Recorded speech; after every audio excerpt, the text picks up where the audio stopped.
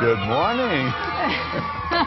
Sandy, those kids would be able to come in and, you know, help you out today, huh? Mm -hmm. they're, mm-hmm. they're, now weather pros. They are. I had a nice time visiting with them a couple of weeks ago, and they're bright kids. Mm-hmm. Randy was they so excited. He was standing on. over well, here. Randy was standing in front of me, and I said, excuse me. we would love to see your wake-up call. Get everybody together. Record it, go to the front page of WCVB.com, and upload it to the U Local section of our website.